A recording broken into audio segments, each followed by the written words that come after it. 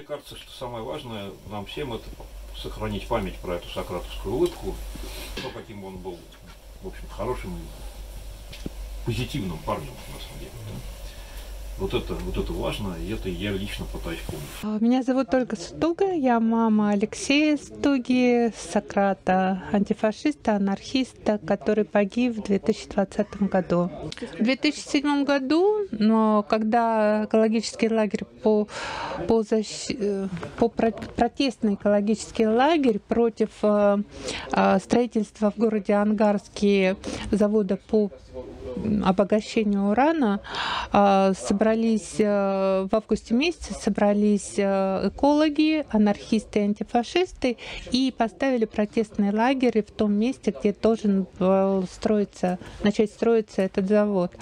А на них буквально на вторую или третью ночь на них напали нацисты, а, убили одного человека, покалечили порядка 10 человек.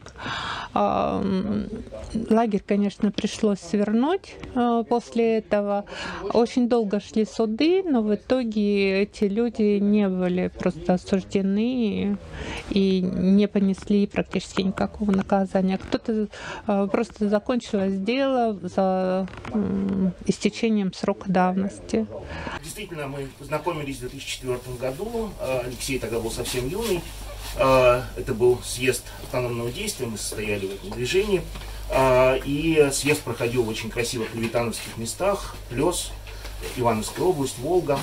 Но, конечно, все было немножко, как обычно, отравлено, потому что каждый день в наш, в наш лагерь палаточный анархистский приходили местные чекисты и милиционеры, которые говорили, что у них, разумеется, украли картины Левитана из музея, и они почему-то думают, что это могли сделать мы, и переписывали всех. Это несколько отравляло общение.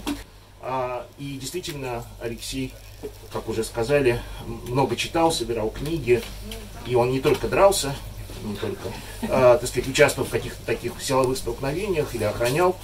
Он участвовал и в представлениях театра ДОК, и издавал журналы, а, газеты, например, «Вольную Сибирь» в Иркутске, участвовал.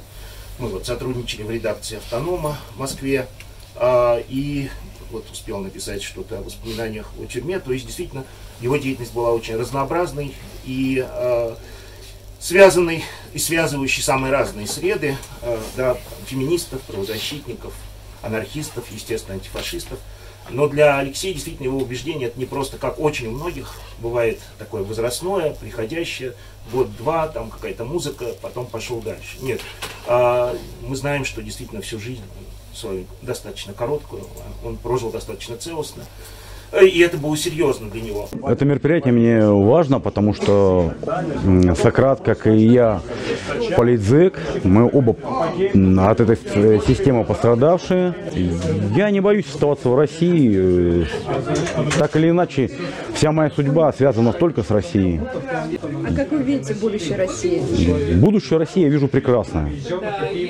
Вот. э, Не с этими людьми, которые сейчас находятся. Ну, я все-таки верю в нашу страну, в страну трех революций.